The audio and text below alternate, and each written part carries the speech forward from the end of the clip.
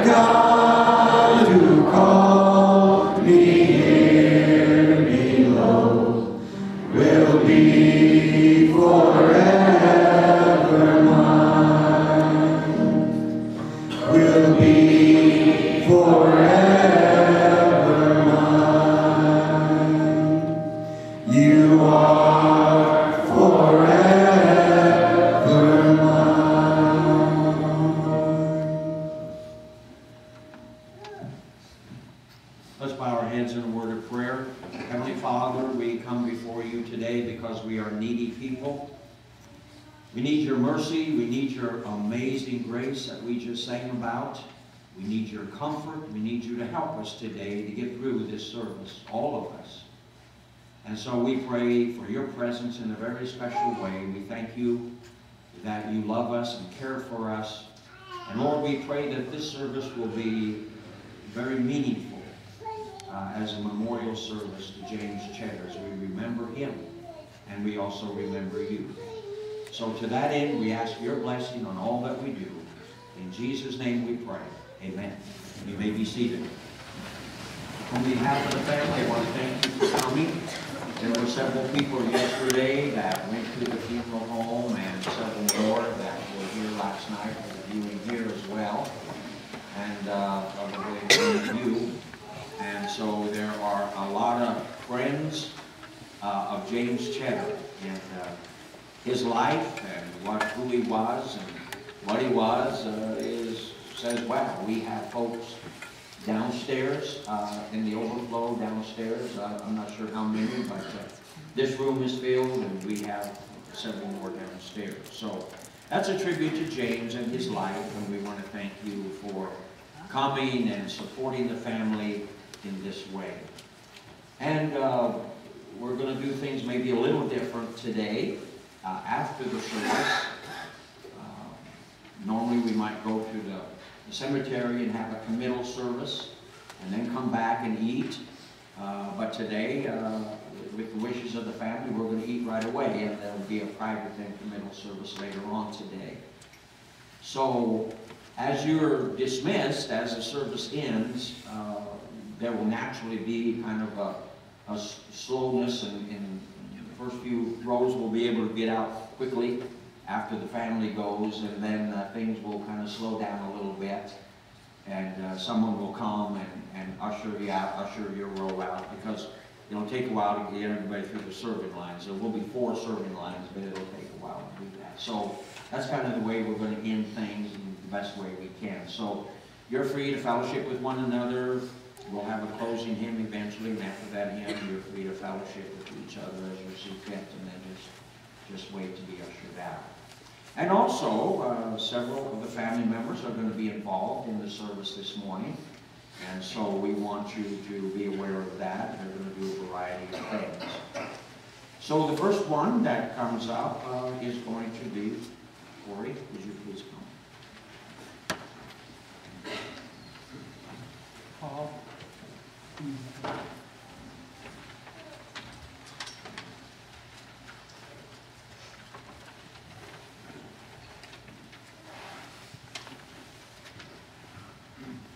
Are we on? There we go. James Tschetter was born October 23, 1969 to Gerald and Judy Tschetter at Huron. He grew up in the Huron area and graduated from Huron High School in 1989. He attended Lake Area Votech after high school and then worked for PSIC Construction. From December 1992 until he became sick, this past July, he worked at Terex as a machinist. His biggest passion was the family farm, where he also worked up until the day that he became sick. On July 3, 1992, James married Lisa Kemet at Fairmont, Minnesota. They made their home in Huron on Beach Street, where they lived all of their married life. He was a member of Mount Olivet Church, where he was baptized on September 27, 1987, and later served as a trustee at the church. James liked to work on his farm and go fishing, hunting, and camping. He enjoyed watching his daughters participate in all of their activities and loved teaching them and other children he knew to love and respect the farm as he did. He cherished the time he was able to spend with his family and his dogs. He was preceded in death by his father, one cousin, Jay Tschetter, three uncles, Jerry, Larry and Trevor Tschetter. One brother-in-law, Scott Broders, and his grandparents, Elizabeth and Alfred Tschetter, Eddie Tschetter, and Katie and Mike Walter. Grateful for having shared in his life are his devoted wife, Lisa, four daughters. Kayla, married to Waylon Walters. Bailey Tschetter. Sydney Tschetter. And Abby Tschetter. Two grandsons. Carson and Kason Walters. And another one on the way. His mother, Judy Tschetter. Two sisters, Janet, married to Travis Peck. And Janelle, married to Corey Moss. His parents-in-law, Mike and Kate Kimmett. One sister-in-law, Mary Broders. One brother-in-law, David, married to Mary Kimmett. His nieces and nephews, Michael, married to Sam Broders. Jennifer and Brian Broders. Jordan and Caleb Kimmett. Taylor and Jackson Peck. And Braxton and Greta Moss. His uncles and aunts, Carol, married to Arlene Tschetter. Harvey, married to Patricia Tschetter. Harvey, married to Sharon Tschetter. And Mona Laguerre, Judith Tschetter, and Lana Tschetter. His great aunt, Suzanne Tschetter. Many cousins. And his four-legged best friend, Zoe.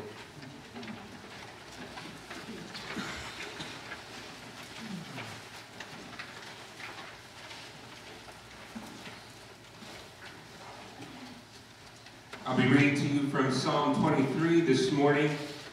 This is a song that's written by a farmer. I think it's appropriate, huh? A farmer who knew a lot of good truths about life. He was a sheep farmer, among other things. And sheep are kind of helpless, I understand. Uh, they need a lot of help. A lot of these animals who farmers raise, they need a lot of help. James knew that well. And we as people are likened to these sheep. We need a lot of help. We need a lot of help. At times we think we can we can do this on our own. Word is we're weak. We're dependent on the Lord. And we have a good shepherd. So as I read this psalm, I want you to hear how God will help you in this very difficult time. Here's Psalm 23 in a, a, new way, not just another song or another scripture to read at, at a memorial service, but as a promise from God to you. Listen, and I emphasize all that God does for us. The Lord is my shepherd, and therefore I shall not be in want. He makes me lie down in green pastures. He leads me beside quiet waters. Don't we need that at times? He restores my soul. He guides me in paths of righteousness for his name's sake. To hear all of what God is doing. And here's what we do. Even though I walk through the valley of the shadow of death. That's what we do, folks. We walk in a very broken world. I do that. I walk through the valley of the shadow of death. Yet I will fear no evil, for you are with me. Your rod and your staff, they comfort me. You prepare a table before me in the presence of my enemies. You anoint my head with oil. My cup overflows.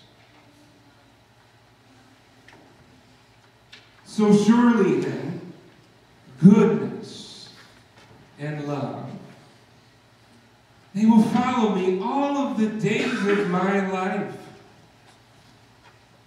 we take great comfort in this last fact. And I will dwell in the house of the Lord forever. This is God's word for the people of God. We give him thanks today.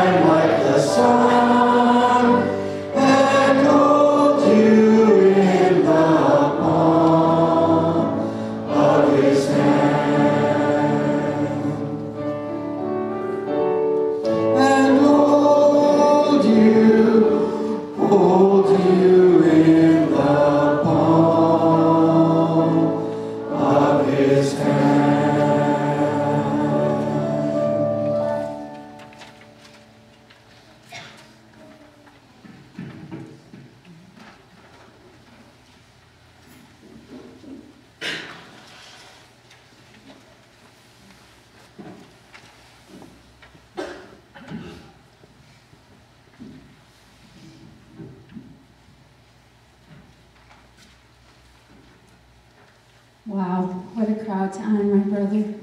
Thank you for coming. For those of you who don't know me, I'm Janet. I'm James's sister. And in our family, there's Jerry and Judy, our mom and dad, myself, my brother, and our baby sister, Janelle.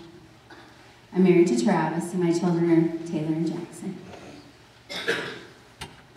One day, Janelle and I were talking over the phone, and we were visiting about the possibility of James coming home going on hospice. And to tell you the truth, I um, was really struggling with that idea. And uh, Janelle said to me, You know, sis, it doesn't matter whether James is at the hospital or he's at home. He is going to live the number of days God has planned for him. And I knew she was right. And that's when I went to this verse in the Bible that says, Oh, yes, you shaped me, first inside, then out. before me in my mother's womb. Thank you, high God, you're breathtaking. Body and soul, I am marvelously made. I know you know me inside and out. You know every bone in my body. You know exactly how I was made, bit by bit, how I was sculpted from nothing into something. Like an open book, you watched me grow from conception to birth. All the stages of my life were spread out before you. The days of my life, all prepared, even before I had lived even one. Or you can look at it in this version as well, one that's maybe more familiar to some of you. Your eyes saw my unformed body, and all the days ordained for me were written in your book before one of them came to be. Ordained, I looked it up on the dictionary, means set into place, prepared, planned. The days were planned before they ever were meant to be. That gives me a lot of comfort. I don't have to worry about if we needed to go to one more doctor, try one more drug, do one more thing. We made good decisions, we made the best decisions we could, and I'm confident in that. So, with the idea of days, give me the privilege of honoring my brother and sharing with you a glimpse of our days, or his days, through my eyes. James grew up in one location, the farm. We moved there when I was three, and it was James and I. He was my playmate. playmate. We rode bikes in the yard, played in the fort that was made out of a circle of lilac trees in the back. We had a hammock um, that our aunt and I believe, sent from Texas or Mexico. And we'd shimmy up high, it was between two trees, and we'd shimmy up high in the hammock, and then if you shifted your weight just right, you could flip the other guy out into the, into the lawn. We completely wore the grass out under that hammock, him and I. And one other thing, I actually talked with James about all these before he was in the hospital. And we talked about the stairway at home. We had stairway with walls on both sides, just a simple rubber bouncy ball. And I said, Were you at the top or was I at the top? And he said, He was at the top and I was at the bottom. And we threw that silly bouncy ball up and down the stairs. I think about it as such simple childhood fun. But it was fun because I was together with him. I didn't need a cord or a charger for that matter either.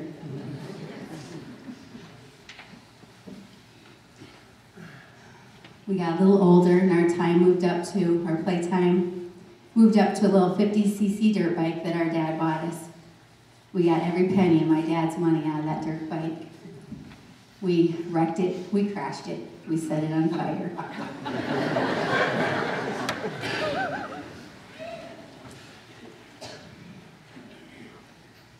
At the hospital, I was trying to visit with the nurses and just make time go better for them and James as well.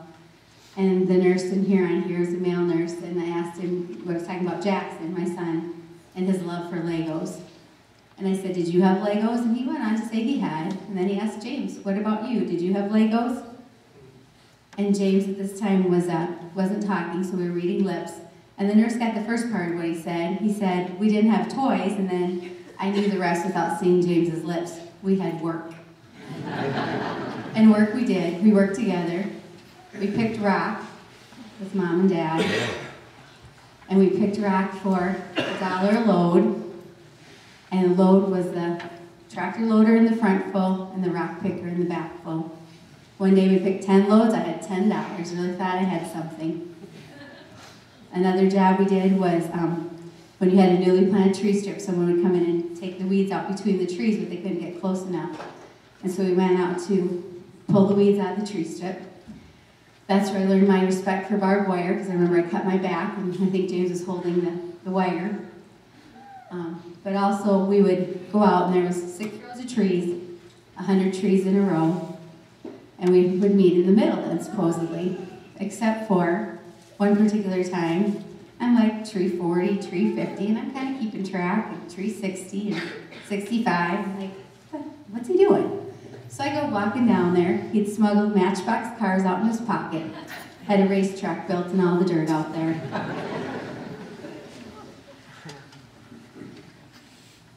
Sometimes that work interfered with our social life. I remember James and I running with push lawnmowers. And another time I remember the field across the road running to throw idiot bales on the trailer as dad drove. We ran one baler, one bale to the next throw on. And while I remember that, I can't remember what the important social life was that we needed to get to. I wish I could remember that as well. Next came college for me in Aberdeen and technical school for James in Watertown. And I don't remember much about that time, except maybe James got in a little trouble here and there, and when the heat was on him, it bought me a little freedom. Travis and James and I lived together um, up on Kansas Street for a while. And James worked for Peace at Construction during that time, so he was gone a lot during the week, and then he was there um, on the weekend. And one particular weekend morning, I can see him standing in the kitchen, pulling this crumpled piece of paper out of his pocket, and on that paper was a phone number. And then later, James left that day, and he went to do what we would do today. We would call it creeping or stalking. he went to check out the girl whose that phone number was. She was tall, her hair was long, and she was cute. And soon Lisa was a regular at, at everything we did, and all James thought about. Fly through the next few years, raising babies, hauling kids to daycare and to school, family birthday parties. James worked at Terex, Lisa at Center for Independence. But James managed to get in some time for some of that hunting and fishing he so loved, and he helped Dad on the farm. I suppose this would be practice, for the time would come when Dad would be gone, and James would manage the farm for our mom. And soon James and Mom were thick and tight and closer than ever, and James became the golden boy. we named him that, Janelle and I, but we had a lot of fun teasing both of them about being him being the golden boy. And Travis would say, your brother can get away with stuff nobody else can. Travis and James both worked at Terex. And I used to send a container to work with Travis, and somehow he was to get it to James. And on the top, I'd always write, love ya. Inside, my name's Sis. And inside the container, I'd have some chocolate cake, some strawberry pretzel salad, or something else I knew he liked. And we all knew the skinny guy in the bib overalls could use those calories. Well, let's go back to the beginning, to our ordained days, the planned days for us. I have to ask myself, I have to wonder, what is the purpose of these last 200 days? Why did my brother lay there? Why was he so sick? I can't understand it. I can't explain it to you. But I know and I trust it was part of God's plan. So I had to look hard to find some good things during this time. And let me share those with you.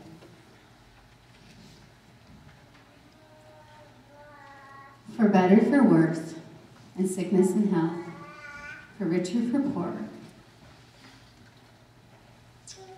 And so that was part. I was there, but I don't remember if James and Lisa said those exact words or not. But Lisa, you have truly been an example of a godly, devoted life. You hung in there through it all, every bit of it. You gave up your job, you gave up your home for a while, you were gone from your kids. And I want to tell you thank you.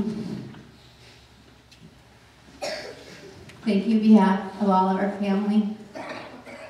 You are an amazing woman, and I'm proud to call you my sister.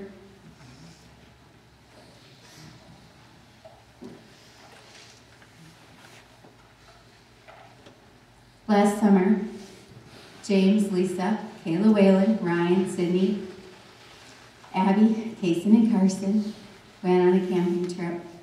And I remember thinking to myself, well, that's kind of different. Okay, well, that's cool. That's good. And now I'm so glad they did that because that was shortly before James got sick. The message within that is that we should all remember to take time with our families. The work will always be there. Another really good thing during this time was Team Tschetter. I still love our red shirts and I'm going to cherish that shirt. When part of the team is down, the rest of the team has to pick up the slack. Kevin, Travis at the farm.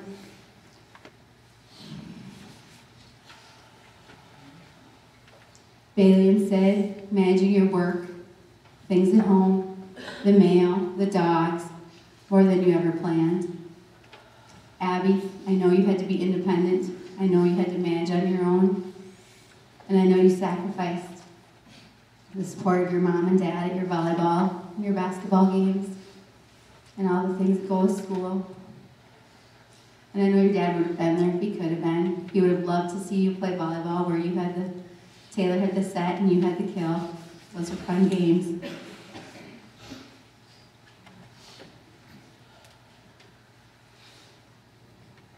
Also, a good thing is the gift of encouragement we can have for one another. And I saw that in my own little Jackson when I'd be home and I'd be sad. He'd say, Mom, God has a plan. God has a plan. And so that day and today, I continue to trust the plan. And my own daughter, Taylor. Taylor has a wonderful gift of encouragement that I saw only in James's room. Thank you for visiting so often, for being his cheerleader, for doing his exercises with him. You spent a lot of time there, and I'm grateful, honey. I know Uncle James appreciated it too because one day Taylor and I had one of those mother daughter discussions before I went up to the hospital. And I was kind of upset. But James, through his vent with his mouth, he very plainly mouthed to me, I like her.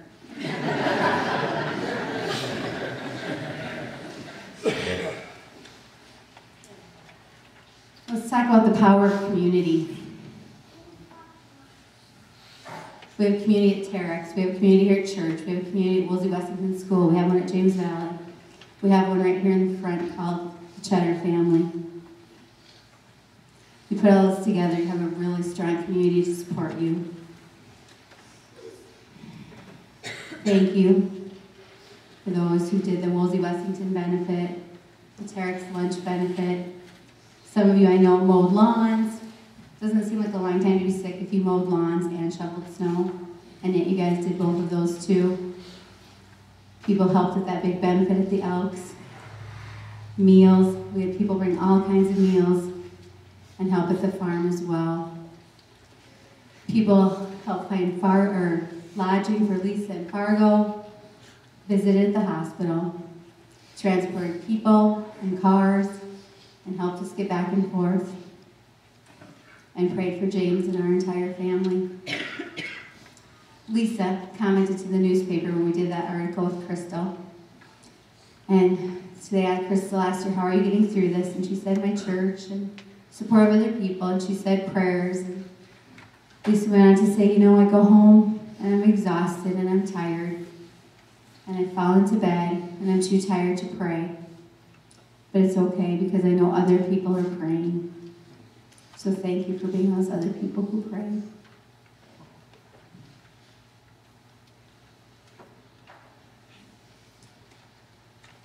This day, I'm saying a temporary goodbye to James.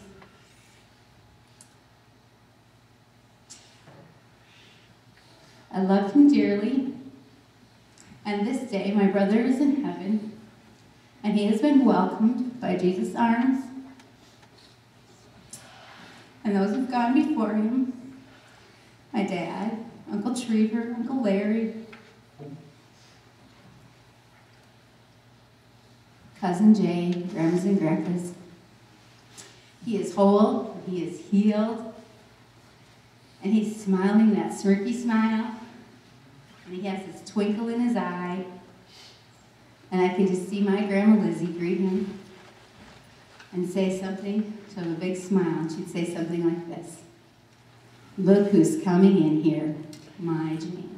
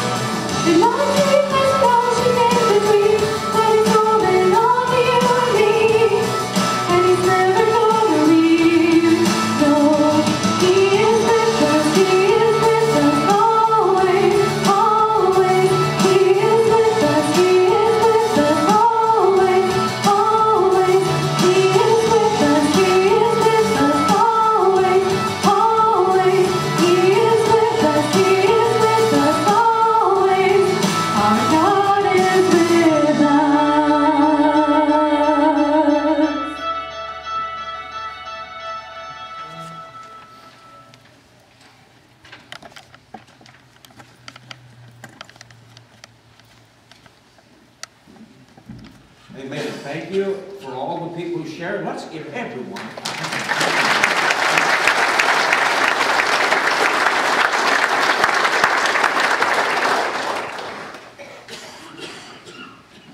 Well, it's my turn now, and you know, when I came to town in 07, uh, we moved here. Shortly after that, that we moved, uh, James had an automobile accident east of town. And so my recollection of James is that he was always a fighter. He was always fighting to get better. And uh, it seems like since I've known him the past seven years, that's been the case. However, I did was able to go out to the farm with him and enjoy his company and so forth. I enjoyed that a lot. Today, uh, you should have been blessed so far with the words that were spoken. That song is powerful. I don't think I've heard that before, but how appropriate, how applicable is that song, and the words are powerful. And uh, so, what Janice said and what Bailey just sung, those words are biblical, they're God's words, and that's exactly what's happening. What they sang was, is true. And my job is going to be easy because James told me what to preach on. Okay, so, uh, and I got that very clear from Bailey when, we met. Uh, she said, Dad said, preach on John 3.16. So, that's exactly what I'm going to do. I'm going to follow his wishes, and it's a very easy verse to preach on. But I tell you what I'm going to do. I'm going to read verses 14 through uh, 18, I think. So follow along because there's a context here. Every verse is important. Of course, John 3.16 is John 3.16. That's the most familiar verse in all the world of the Bible. And that's the one you learn in Sunday school as a kid, Bible school, wherever the case may be. You learn John 3.16. But I'm going to start at verse 14. So listen to God's word. He says, and Jesus is speaking. He says, As Moses lift, lifted up the serpent in the wilderness, even so must the Son of Man be lifted up, so that whoever believes in him will have eternal life. For God so loved the world that he gave his only begotten Son, that whosoever believeth in him should not perish, but have everlasting life. For God did not send his Son into the world to judge the world, but that the world through him might be saved. He who believes in him is not judged. He who does not believe has been judged already, because he has not believed in the name of the only begotten Son of God. Again, it's amazing that this most familiar verse in all of Christendom, John 3.16, was spoken at night, in the dark, because a man by the name of Nicodemus came to Jesus at night by dark. He was a ruler of the Jews. He was a Pharisee. And although the Bible doesn't tell us, I'm sure, I can be sure as best I can, that the reason he came to Jesus at night and in the dark was because he really didn't want his other Pharisee friends to see him come. But he had some very important questions that he wanted to, he was a seeker. He was seeking some answers from the Lord Jesus Christ. So this whole conversation John 3.16 and the following verses and so forth, all happened one night with one individual. And uh, Jesus also spoke earlier, in some earlier verses, about the need for the new birth, about the need to be born again. Again, just with one guy. Now, we have in our Bible, and uh, the whole world has heard that message from one time or another. You must be born again. And uh, John 3.16 is proclaimed in many, many places. But it was just a conversation with one seeking man on one night. And I'm just going to mention this, a couple of things here, and then we'll be done. Jesus uses this Old Testament illustration. We kind of jumped in, in our reading, we kind of jumped right into the middle of the passages and so forth. And so we started with that illustration as Moses lifted up the serpent in the wilderness so must the Son of Man be lifted up. The reason Moses lifted up that serpent on a stick, way high, that bronze serpent, made of serpent out of bronze, and lifted it way up high in the air, the reason he did that was because the nation of Israel had offended God. And so God sent some snakes amongst them, poisonous snakes, and they were biting the people, and the people were dying. But God also had a plan to take care of that. And he told Moses to make a bronze serpent, a, a, a bronze thing in the form of a serpent, put it on a pole, lift that pole high in the air, and if anyone is bitten by a poisonous snake, all he has to do is look at that pole. That's it. All he has to do is look at that pole. He doesn't have to say a bunch of words. He doesn't have to go to a certain place. Just look at that pole and he would be healed. Look at that serpent and he would be healed. And so Jesus used that illustration for a New Testament truth. That happened in the Old Testament. And he was leading Nicodemus into a New Testament truth. So he goes on to say uh, that whoever believes in the Son should have everlasting life. So the Old Testament truth, an offense was committed. God provided the plan. A bronze serpent on a pole and a simple look would bring healing. Fast forward into the New Testament in Jesus' day, an offense was committed, and God provided the plan. The plan is John 3.16. For God so loved the world that he gave his only begotten Son, that whoever believes in him should not perish, but have everlasting life. And that's the plan. Now, isn't God gracious to us? Wasn't he gracious to those people in the Old Testament? They committed the offense against God. They committed the sin. Yet God in his mercy and in his grace, he provided the plan whereby they could be healed. And now in our world today, we offend God. The Bible says all have sinned and come short of the glory of God. We offend God, and God in his grace and in his mercy provides a plan, provides a way that we can overcome that and be saved and go to heaven when we die. God has provided that plan for us. It involves the love of God. For God so loved the world that he gave his only begotten Son. It involves God's love to give his Son. It involves the love of the Son to give his life on a cross. And then it involves the cross being lifted up. And then it involves simple faith to bring salvation. So it's to say it's a parallel. The New Testament is a parallel of the Old Testament story that Jesus brought out. And he brought it out for that reason. As Moses lifted the serpent in the wilderness, he said, even so must the Son of Man be lifted up, that whoever believes in him should not perish, but have everlasting life. There's a couple of differences here. One difference is, is that the Old Testament, when they looked on that serpent, they got physical healing. And that's good, and that's fine, and that's great. And you're sick, you want physical healing. You're glad to get it. It didn't provide them eternal life. But the, the cross in the New Testament gives us eternal life, and that's the difference.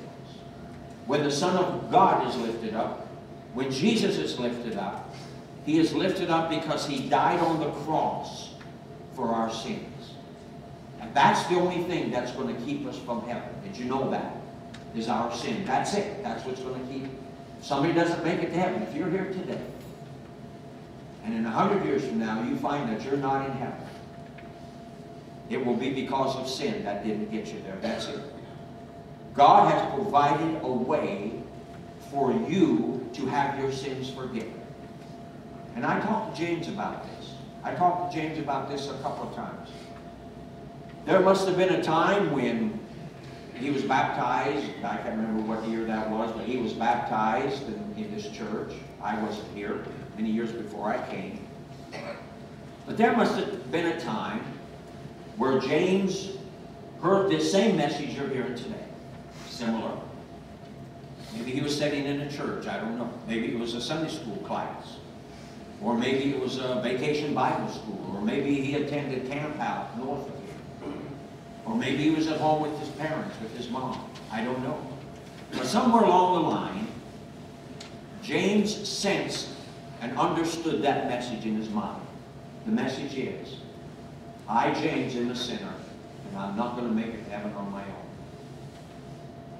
I know that Jesus Christ came down from heaven to die on the cross, and the purpose he died on the cross and shed his blood was so that my sins could be forgiven. Christ took the payment I deserved to take. He took it upon his own body when he was lifted up on the cross. And Jesus rose from the dead, went back to heaven, and James must have said something like this. I don't know, I didn't hear him, but everybody does this a little different way, but by and large, they say something like, you know, I'm going, I'm going to receive Jesus Christ into my life as my personal Savior. And when James did that, whatever the occasion was, Sunday school class, church service, home, uh, wherever, when he did that, that moment he made a transaction. He said, I will take Christ, and Christ can take my sin. And that moment, salvation came to James. Let me tell you something. Right now, James is very, very happy he made that decision. He is very happy. He is eternally grateful right now that he made that decision. James has been in heaven now for a few days. And whatever, whatever, I, I don't think there's any such thing as day and night in heaven, but whatever heaven would hold for a believer, whatever perfect thing is there for us, we just get a few things in Scripture. Whatever it is, James is experiencing that. And he will thank God for eternity that God spoke to his heart that one day, whenever that was. And James heard the call and sensed in his heart that God was calling him to himself. And James responded by saying, Yes, Lord, I will take you as my personal Savior. And that's it. James didn't go to heaven because he was a member of this church. He didn't go to heaven because he was a trustee of this church. He didn't go to heaven because he was a fine father and a fine husband. That's all good. We would not negate that at all. That's not how you get to heaven. That's not it. Those are all fine and good qualities. You get to heaven by making that transaction, by understanding in your heart and your mind that you need somebody beyond yourself, that your sin is keeping you from heaven, but that Christ became your sin bearer and your substitute and your sacrifice on the cross. So he suffered your sins so you don't have to suffer for your sins. And you and Christ come together and you're saved. That's how that. It's not church membership. It's not baptism. It's not being a good guy, a good husband, a good father, a good worker, working in the community, giving money. None of those things. And that's all fine and good in and of themselves. But they'll never get you to heaven. You have to take Jesus Christ into your heart as your personal Savior. So the New Testament plan, an offense is committed, God provided the plan. The love of God gave His Son. The love of the Son gave Himself. The cross was lifted up. Simple faith brings salvation. I look at the cross, I realize that Christ died on it for my sins. I receive Christ into my life, and I'm saved.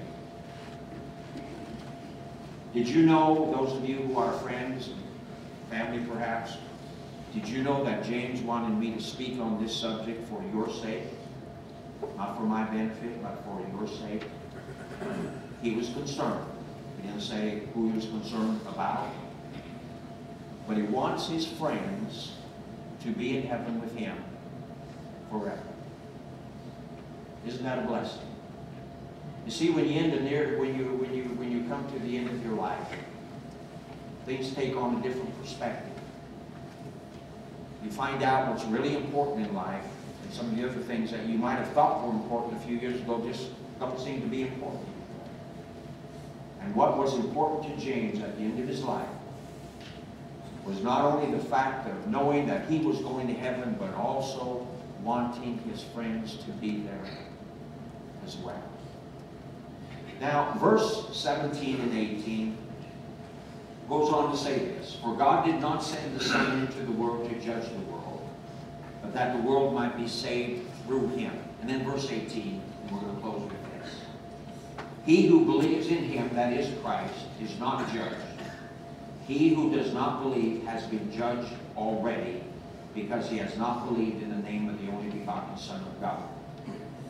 So there's two kinds of people in the world, and more importantly, there's two kinds of people here in this room and downstairs, here in this building. Two kinds of people. There are people who are not under condemnation, and then there's another group of folks here that are under con condemnation. Now that's what verse 18 says. He who believes in him is not judged or is not condemned. He who does not believe has been condemned already. So you don't have to wait till you die to find out where you're going to go. You thought that in your life, you've been mistaken. You make that decision before you die, because if you wait till after you die, your, your doom is already sealed. You have to make that decision before you die. So here in this room, there's a group of folks who are not condemned. Why is that?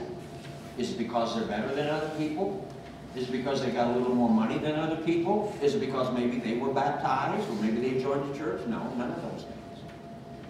It is because in simple faith they looked at the cross of Jesus Christ, realizing He died for their sins, and they, in the privacy of their heart and in their minds, received Jesus Christ into their lives. They trusted in Him to become their personal Savior.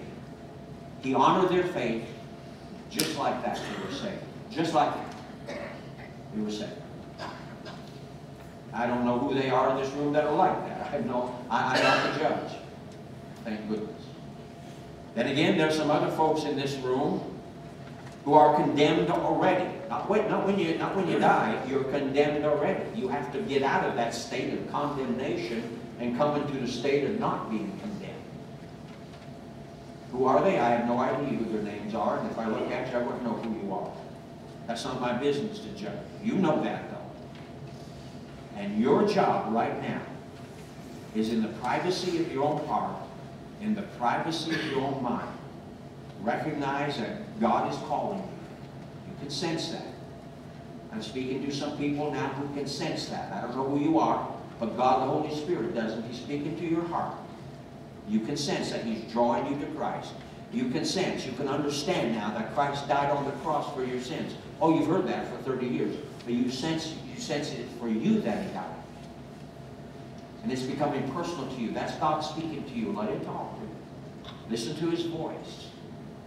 And you sense that if you would receive Christ into your life today, you could be saved. You sense that. That's God speaking to you. And you're ready to move from the group that's condemned already to the group that is no longer condemned. You're ready to do that.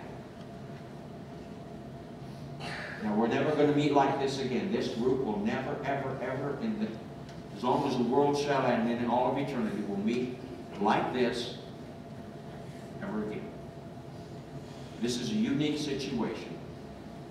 God is speaking to your heart. He's speaking to your heart because your friend died.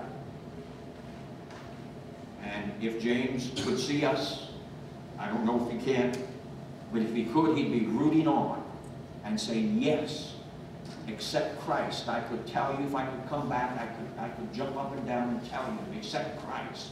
Accept Christ as your Savior. Do it today. Do it now. And I would say that too. Don't wait. Don't wait for a better time. There is no better time. The Bible says, Behold, now is the accepted time. Now is the day of salvation. You never want to trust in tomorrow. Number one, tomorrow may never come, but number two, if it does come, if it does come, you may not have that sense and that feeling that you do right now that you ought to do business with God. If you want to see James again, he's in heaven. That's where you'll have to go. If you want to get to heaven, you'll have to come through the Lord Jesus Christ. Not my church, not anybody's church. You'll have to come through the Lord Jesus Christ. It's He. He's the one that died on the cross. Jesus said, And I, if I be lifted up, I will draw all men unto me. And I believe that He's drawing some people here today. Which group are you in? Which group do you want to be? That choice is totally yours. Let's bow our heads in the word of prayer. Now, while our heads are bowed and our eyes are closed, there are some people here today whom God has spoken to. You sense that. You feel that in your heart. You sense that this should be your day to receive Christ into your life. And here's what I'm going to do. I'm going to make it very easy. I'm going to help you with that. You're doing business with God, not with me, not with this church. You're doing business with God Almighty Himself. So I'm going to lead you in a prayer, and you pray silently, but you're praying to God. You want to pray sincerely. You want to pray in faith, believing in Christ. Christ died for you and rose from the dead. And you want to ask Him to come into your life as your personal Savior. You're going to do that today. And it's going to be signed and sealed and settled forever. And one day when you pass away, 10, 20, 30 years from now, whenever it may be, you will be forever grateful that you made that decision today. If you don't make that decision, you will be eternally ungrateful that you didn't make that decision. So I'm speaking to those whom the Lord has spoken to in this room. If you want to be saved, if you want to know Jesus Christ as your personal Savior, if you want your sins to be taken away today, you pray this prayer to Him, silently to Him, not to me or anybody. Pray it to Him. Just say these words. say, Dear Jesus, I know I'm a sinner. I know you died on the cross for my sins.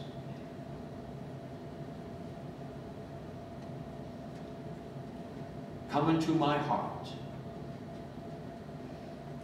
and become my personal Savior today. I receive you right now. And thank you for saving me. Amen. Father, I want to thank you for those who made that decision. Lord, we know that you bring us together in a crowd like this, in an event like this, in a situation like this, for a specific purpose. Oh, we come because we're just going to do this or we're going to do that. Yet behind the scenes, you're working in people's hearts. You draw people to a certain place at a certain time so they can hear this message. And they have this opportunity and never come again to receive you. I thank you for those people who did that today. Lord, I thank you that there will be people in heaven because James passed away because he had a concern in his heart for his friends and he wanted to see them saved. Lord, we thank you for his concern, for your message, for your way of salvation. Thank you for that. Now, Father, we do want to continue in our prayer and ask you to comfort the family, bless the family, strengthen them, Lord, today, throughout this day. I'm sure they're exhausted. They're just kind of running on, on fumes right now, Lord. And uh, we pray that you'll grant them the strength to get through the rest of this day. Talking to a lot of people, crying with a lot of people. And uh, Lord, we pray that you'll give them a good night's rest tonight. We pray that tomorrow you'll grant them strength, and the next day, and the next day. And then the weeks will go by, and they'll need your comfort, even more so later than they do today. And there'll be some lonely nights, and there'll be some lonely times. They'll be crying when they can't figure out why. And Lord, we pray that at those times that you will be very present with them, very near to them, very close to them, and that they will lean upon trust your plan. Lord, I pray now that you will bless this day. Asking, thank you for the food that's been prepared for us, Lord. I pray that you'll bless this food, strengthen us, encourage us, nourish us, and help us to serve you better. I ask this in Jesus' name. Amen. Now, Paul is going to come up and lead us in a song, and uh, we want you to stand, and the family will be ushered out, and you will be ushered out as uh, you will Paul.